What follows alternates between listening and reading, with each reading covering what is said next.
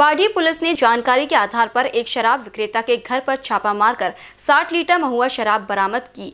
पकड़ा गया आरोपी गोटपुरा निवासी कृष्ण सूरज लाल सड़माके बताया गया। पुलिस को जानकारी मिली थी कि सूरज अपने घर से अवैध तरीके से शराब का व्यवसाय कर रहा है।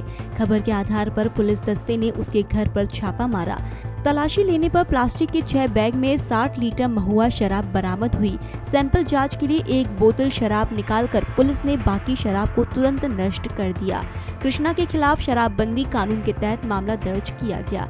इंस्पेक्टर मनोहर कोटनाकी के मार्गदर्शन में पीएसआई अमित मिश्रा, कांस्टेबल मंगेश गवई, विश्वनाथ कूथे और श्री कृष्ण इमनाते ने कार्रवाई की। आज दिनांक अठरा अकरा दोन हज़ार एकवीस रोजी पोस्टे पार्टी हद्दीमध्ये आमचं जो डीबी पथक आहे ते पेट्रोलिंग करीत असताना त्यांना गोपनीय खबऱ्याद्वारे माहिती मिळाली की गोंडपुरा येथील कृष्णा सूरजलाल शेडमाके हा आपल्या घरी मोहा फुलाची दारू विक्री करीत आहे.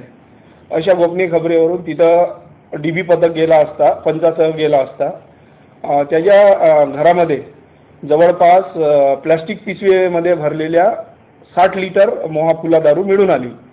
ती आम्ही पंचासमक्ष कारवाई करून त्याच्या विरुद्ध गुन्हा दाखल करत आहोत.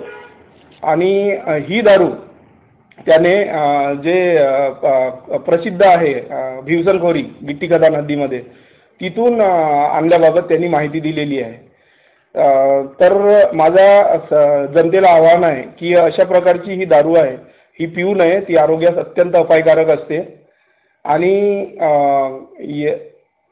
एवढे माझे जनतेला आव्हान आहे. कैमरा पर्सन अखिलेश भारद्वाज के साथ अभिषेक पांसी बीसीएन न्यूज़ नागपुर।